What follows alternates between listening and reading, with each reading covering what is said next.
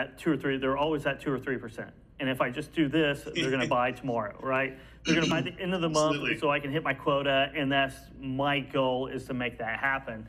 Where, you know, they might be under contract for another year.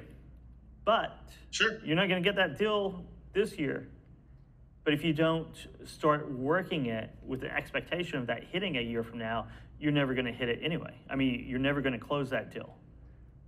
It's a long sales cycle. You, you have to take take in consideration, uh, you know, the, the processes and contracts and, and whatever other inter, buy, internal buyer uh, buyer issues or processes, whatever you want to call it, right? Challenges there is because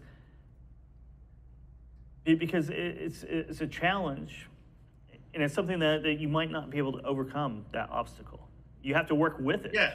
You have to work with it and accept the fact that maybe it's a 12 month buying cycle with this one customer, and that's your 12 month, and then you go focus on deals that you can close right now.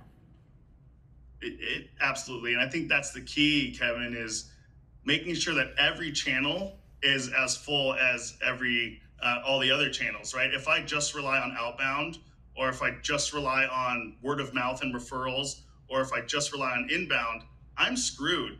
Uh, and, and that goes for anybody that's in a longer sales cycle. You know, if I look at the deals that we closed in 2021, you know, you have a slew of deals that maybe took three years. You have some that took a month. You have some that took six months. And, you know, it takes time to build a mature pipeline like that and be able to be patient and understand that I don't have to call you, get you on a demo, or get you on a discovery, get you on a demo, send a proposal, and, and slam this deal in in 30 days. A lot of times that's just not realistic.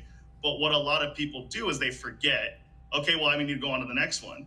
I'm happy to take three years to sign an account because when they sign eventually, they're going to be a customer forever. And I have three years to build my case and to build my value and to allow you to know when the time's right, you're going to remember, damn, that Mike guy, he reached out to me once a quarter. I heard his voice. He was in my ear. Now we're ready. And then when they're ready, it comes down to a few things. Are you an expert in your space? Does your product actually solve a problem that they have? And can you articulate your value in a real way that's easy for them to understand?